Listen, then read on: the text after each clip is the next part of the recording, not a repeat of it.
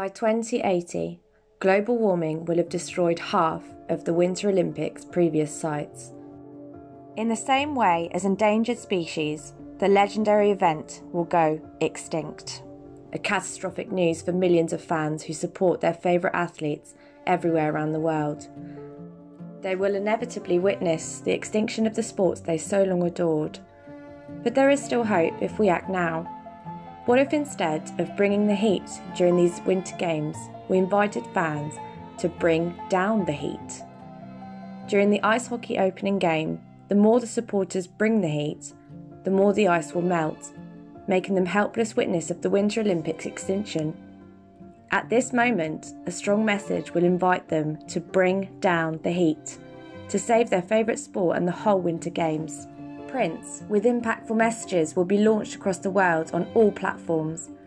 But how can we motivate people to act? By hoisting the iced Winter Games rings on the Beijing Square. They will slowly melt due to global warming. People all around the world will get to cool them down through donations.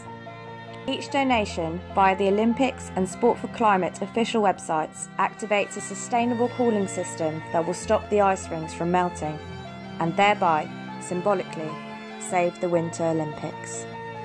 Digital out of home will also allow passengers to give live contactless donations to encourage people to change their habits. Famous athletes will share how they act for change and engage their community on social media.